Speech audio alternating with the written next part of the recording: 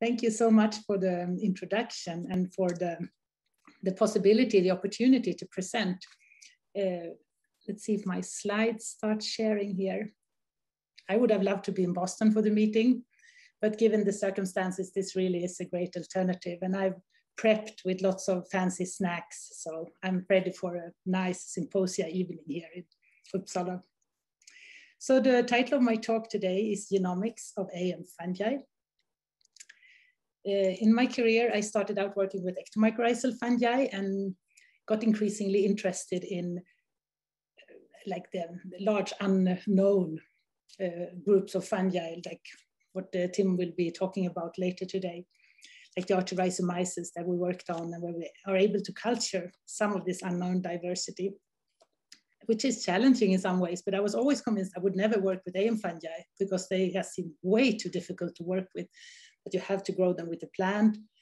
And uh, honestly, when you work with metabarcoding, like I've done a lot, you kind of believe they don't even exist because using standard protocols and standard primers, you can hardly detect AM fungi in many systems.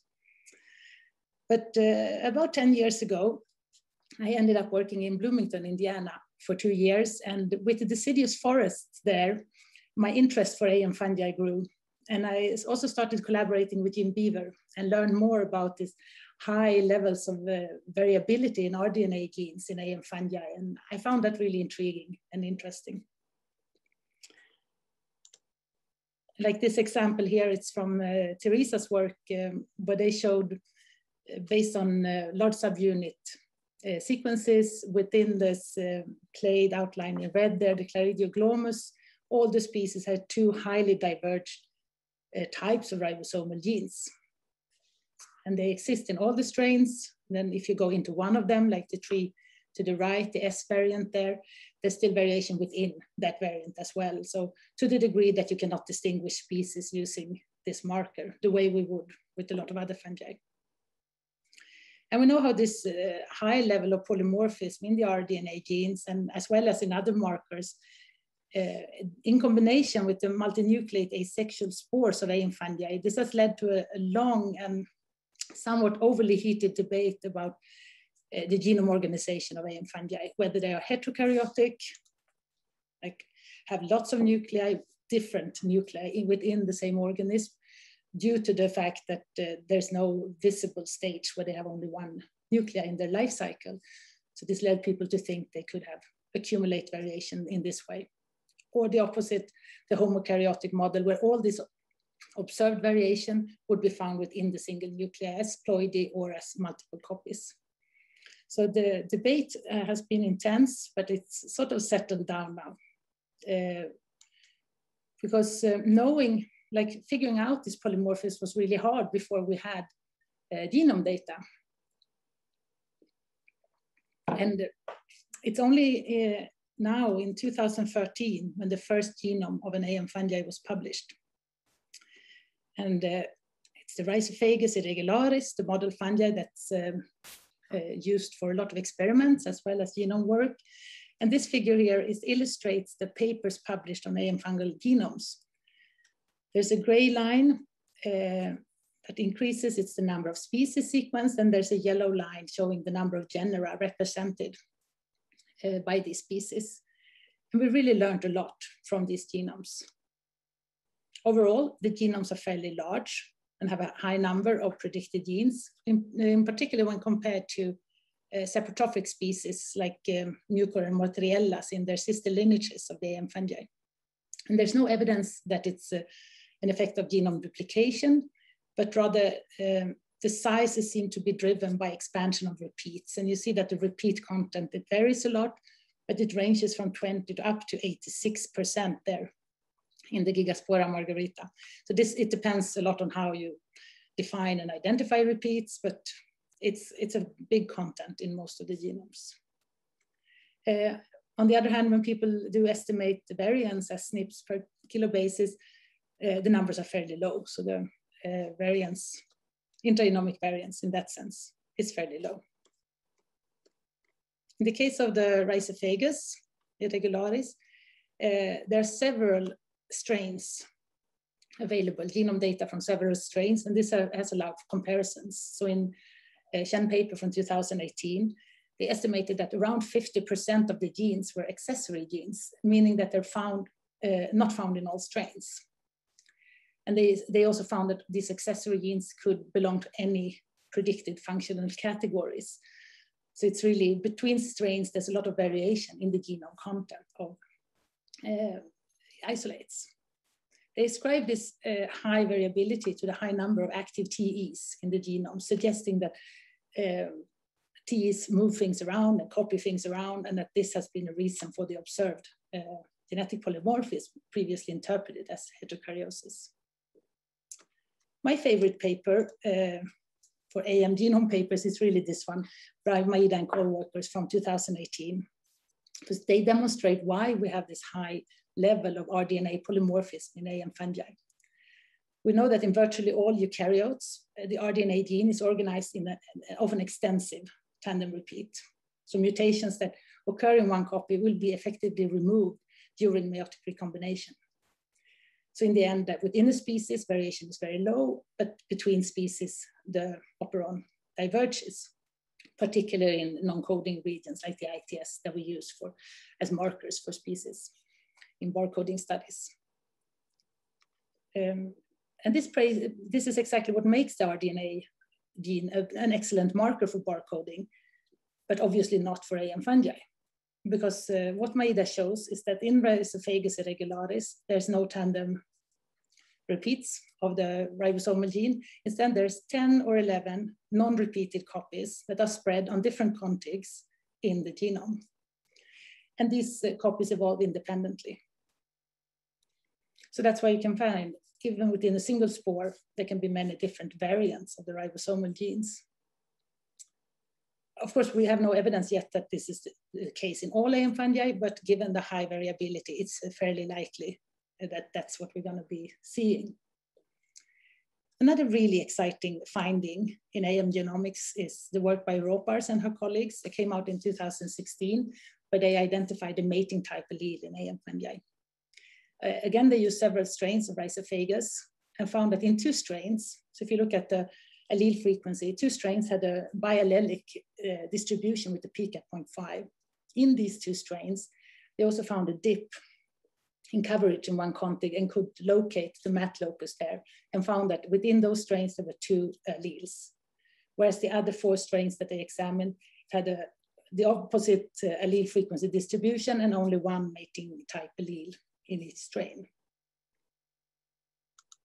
So based on these observations, they outlined a possible life cycle for AM fungi with a clonal cycle where uh, strains having only one mating type would propagate clonally. And then if these two strains with different mating type met, they could fuse, form a dikaryon-like stage with two mating types. And then maintaining those nuclei at a 50-50 ratio within the mycelia. We don't know how that would be organized, but that's what the pattern of the allele distribution looked like for the strains. And it's likely that the cycle would also include uh, karyogamy at some point uh, with the possibility for meiotic recombination, but this stage has not yet been seen. And the evidence that we have for recombination are, are still thin because it's really difficult to identify uh, recombination events with this uh, in these organisms. But uh, it's a likely part of a cycle like this. So I don't think anyone really doubts anymore that AM fungi have a sexual cycle, but the question really is how frequent is, does it happen in relation to the asexual reproduction of these fungi? So like I said, we really learned a lot from the genomes uh, that have been published. But it's important to remember one thing that almost all of these genomes come from axenic cultures where the fungi can be grown with uh, transformed roots. Uh, the exception is the Diversispora epigaea, which has this little fruit body structure above ground with the red, red arrow. So that was used for getting enough uh, DNA.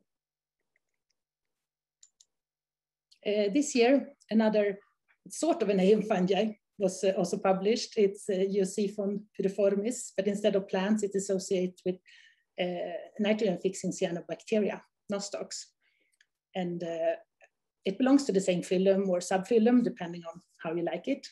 Given, that, given its host, I think many of us expected that Geosiphon would be a basal sister to the AM fungi. But uh, that's not what it looks like based on the phylogenomic analysis using uh, transcriptome data that's available. To me, really, this paper, the best part was that the authors went back to the location where this species was known from and managed to re-isolate a strain. That's really impressive. And they could culture it and get enough uh, uh biomass for genome sequencing. But that really is the key problem with AM fungi lot. It's hard to get enough biomass for DNA extraction. And that's where our work comes in. So we recently released a preprint uh, in bioRxiv. The paper is still in review, uh, where we present de novo genome assemblies and uh, phylogenomic analysis, including 18 previously unsequenced taxa, representing eight new genera of AM fungi. And we generated these without xenic cultures. So instead, we started with whole inoculum that we obtained from INVAM, and we extracted spores from the soil with sieve and uh, sucrose gradients. Mm. Pick the spores, crush the spores, stain the content for DNA, and then uh, put it on a, a FACS a cell sorter. And at the facility, we could sort individual particles uh, into wells. And then we amplified the DNA. We could score if the DNA was fungal or bacterial or both. And then we picked the ones with only fungi, sent them for sequencing with Illumina HiSeq X. And uh, all this was possible th thanks to Claudia at the single microbial single cell facility and uh, Barbie Ellis, who was postdoc with us, as well, of course, of Messi Montoliu-Nerin, who was a PhD student who led the work. But let's take a step back, uh, because this is part of a a large ERC project that I started in 2016 with the aim of studying evolutionary stability of AM fungi. And you realize that's an impossible, it's a huge task, but it's uh, very interesting to dive into. At the time, I had built the idea on this model of a temporally dynamic heterokaryosis model so that different nucleotype existed, they segregate and they remerged by anastomosis. So that was the main idea of the project. And the thinking was that we would be able to determine if nuclei were different by sequencing them individually and comparing them. That sounds easy enough. That's what I thought. And I started with Claroideoglomus because we knew, like I was saying, that there was high variation in the RDNA genes. So we figured there'd be other variation as well. Uh, so we wanted to generate reference genomes and then map reads to the individual nuclei. And when I started, we had already done pilot experiments showing that we could sort the nuclei and amplify them.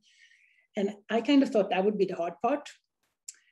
But uh, it turns out that it's uh, when you get the sequences, it's very easy to assemble it to something that looks like a genome, but then to actually make sure that the assembly is a good representation of the genome, that's a whole different thing.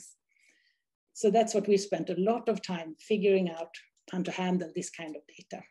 So in our case, we had 24 individually amplified and sequenced nuclei that we wanted to combine to an assembly of the genome. We use MDA for amplification, and supposedly it's unbiased, meaning that every nuclei will not represent the whole genome, but together everything should be represented. But using amplified DNA, you have very variable coverage. So you can't really use the coverage uh, for information, and it causes problems with a lot of assemblers. And it's also difficult or impossible to distinguish a repeated region from a uh, highly amplified region. So there were several challenges with that. So we ended up spending a lot of time evaluating assemblies, looking for single copy genes, how they, how they were assembled, estimating completeness, the size of the assemblies, repeat content, looking for the RDNA variants, and so on. We worked on this to the extent that we started to call it assemblomics because we had over, I think we had over 300 different assemblies of these same nuclei uh, in, when we, in, that we published in this work. And it does sound a bit crazy when I say it, but I think it's an important lesson for trying to explore new types of data. So I'm going to walk you through the three types of workflows that we developed and the conclusions we drew from them. So we had all the nuclei and two of the pipelines or the workflows that we did uh, started by assembling single nuclei and then putting single nuclei together. So in the number one, we use MaSuRCA to assemble all the reads into single nuclei. Whereas in this uh, second one, we use SPAdes, but then we first normalize the reads, assemble single nuclei and put them together. And we use Lingon, a new um, like assembler of assemblies that uh, Manfred developed for this purpose. So in this way, we got whole genome assemblies.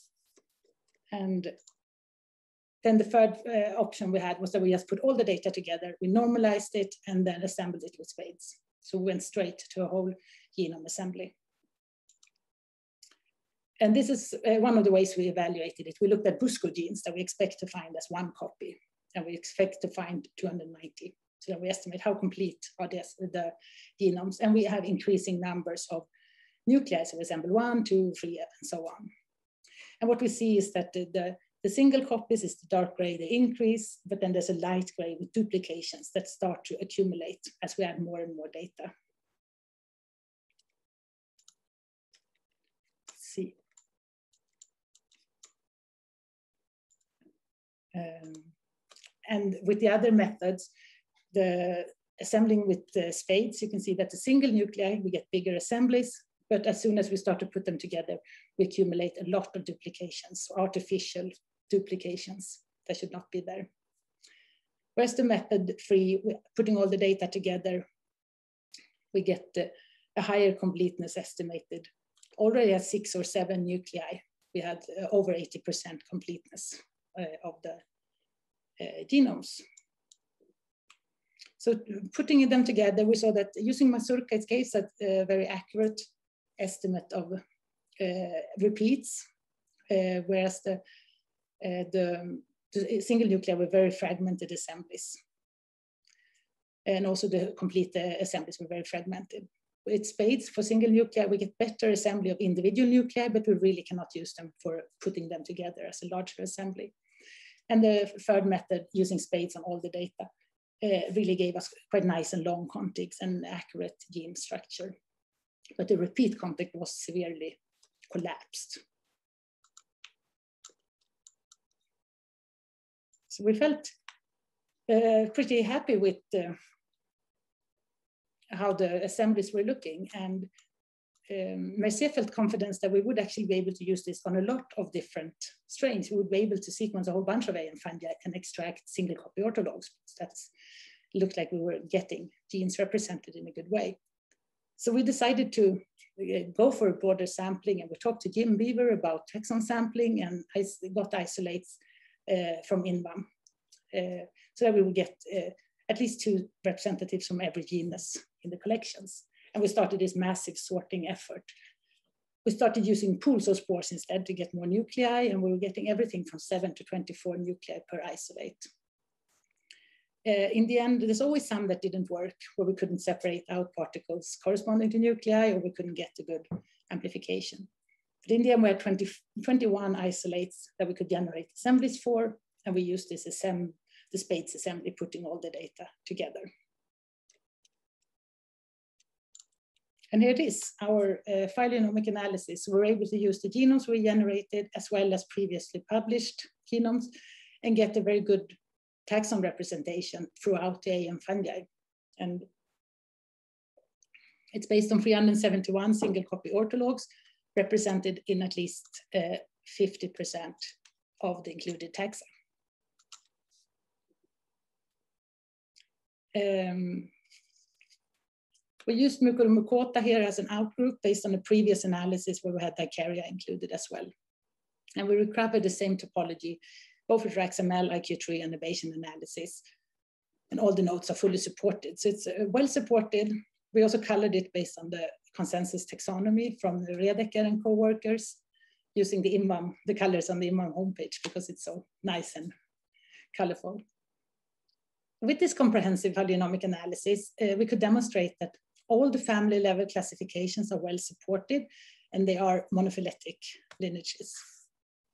We found that uh, in contrast to uh, work based on ribosomal genes, the, the order Glomerales is polyphyletic. Because what happens is that you see the purple color, Claridoglum glomerulase uh, comes out as a basal sister to the Diversisporales and the rest of the Glomerales. And in the paper, we go into some analysis of conflicts here on displacement, but overall, the, the picture is a well-supported phylogeny, phylogeny with uh, broad taxon sampling. The stars indicate uh, new genomes from our work. And one reason that we can feel confident about these assemblies is that we also included Rhizophagus irregularis, the same strain for which there is a very good reference genome, the version 2.0 that was published by Chen et al. 2018. So we took the two assemblies, ours and the published reference, and then we compared them. So first mapping reads, we find that 99% of our reads map to both of the assemblies and individual nuclei cover on average 50% of the assemblies. Based on this, we concluded that the reads, uh, like all the genome is represented among our reads that we have generated. Then we took uh, of all the BUSCO genes that were present in both the genome assemblies, we did linear uh, like pairwise alignments and we compared the similarity and found that there was an average 99.7% similarity. And the background there is that 260 of the genes were identical.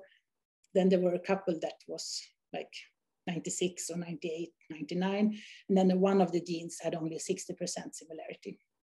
But our conclusion is that uh, any random errors that are introduced in the MDA, they don't really, uh, re are not retained to a large extent. So most of the genes really are uh, assembled correctly and uh, well represented using our method. So we felt that this is a very solid method to generate single copy orthologs suitable for phylogenomic analysis. But we're always interested in learning more about what happens with the different assembly methods and what kind of analysis are different assemblies suitable for. So Marisol, who was a postdoc in the project then, she's now moved on to a tenure track position at the Agriculture University here in Uppsala.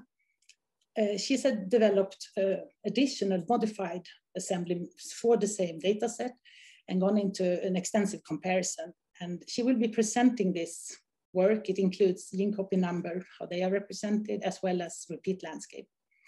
So he will be presenting them at the CanFundNet uh, later in May. So you can go and listen there if you want to hear more.